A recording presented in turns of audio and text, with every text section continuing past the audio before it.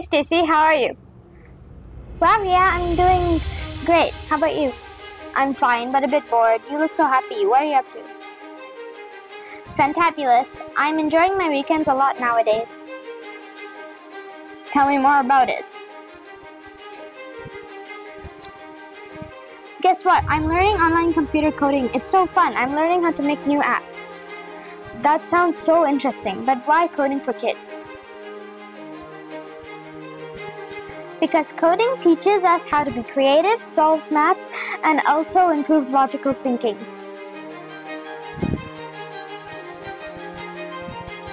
Wow, that's impressive. How do I start coding classes? I want to learn coding too.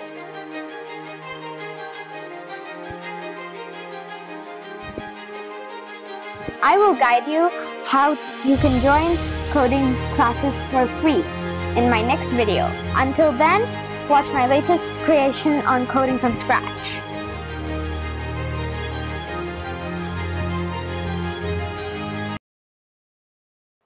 Hello there, I'm your coding magician. You enjoyed the short scripted video between Stacy and Ria? I can teach you how you can make your own story video. It's so simple and fun to make it. I'm sure you want to watch more videos like this. So subscribe to Coding Magician channel, like this video, click the bell icon and leave your comments down below. Let's get started.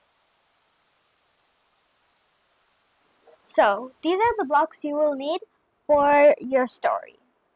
An event block, when flag clicked, a say block, which is inside of looks, and a wait block for one second.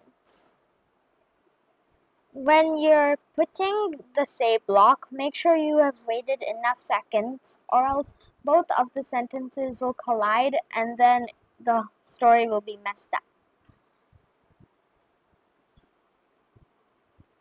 You will need the say block and the wait block repeatedly uh, for a few times to complete your story.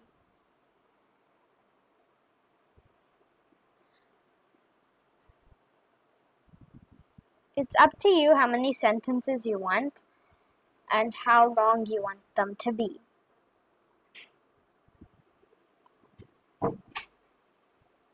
Make sure you have over three or two sentences, or else it will be a short dialogue for both of the characters.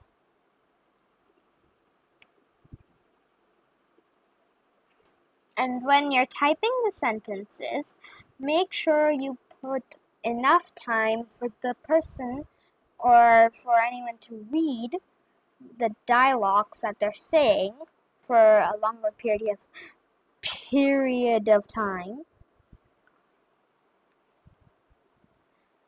So just look out for that. And when you're putting them, make sure you put enough time for both sentences.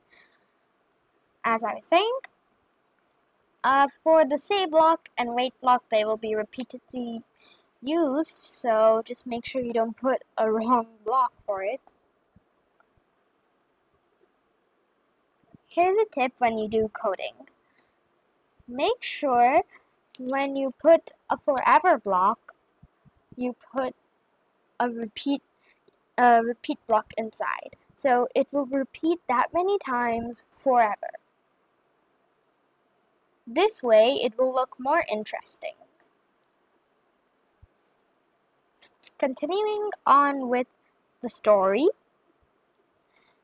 we have to have uh, two characters for the story, two or more. It's up to you how many characters you would like. Alright, now we're finished. Enjoy your story!